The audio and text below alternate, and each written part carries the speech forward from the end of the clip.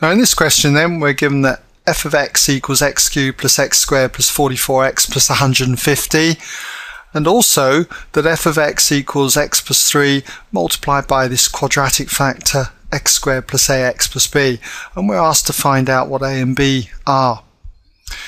And the way I would do this is to say that uh, I can get uh, the values of x squared plus ax plus b just by simply dividing f of x by x plus 3. So I would start off by saying x squared plus ax plus b is equal to f of x divided by x plus 3.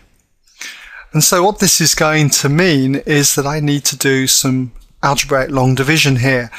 x plus 3 then into x cubed plus x squared plus 44x plus 150 and I'm expecting it to go in exactly. So I'm assuming you're familiar with algebraic long division. If not, just go on my website and there's plenty of tutorials there on this. So in the usual way, what do you multiply x by to get x cubed? Well, it's got to be x squared.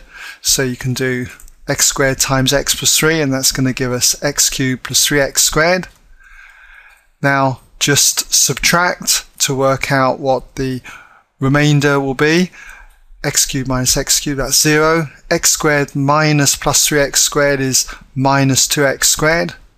Bring down the next term, 44x, and start all over again. What do we multiply x by to give minus 2x squared? Well, it's going to be minus 2x.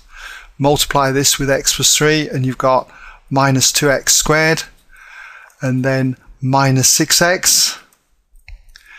Again, subtract to work out what that remainder is. We get 0 here, and then you've got 44x minus minus 6x, so that's going to be a total of 50x. Bring down the next term, 150. And as expected, what do we multiply x plus 3 by to give us this? It's an exact value. It's going to be 50 because that leaves us with 50x plus 150.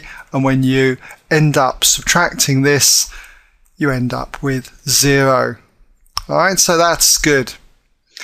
So what we've got then is that x squared plus ax plus b is identical then to x squared minus 2x plus 50. And we can compare this quite easily.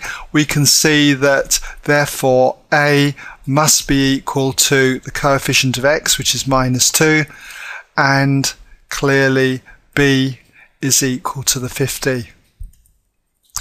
There you go. That's how I would do it anyway.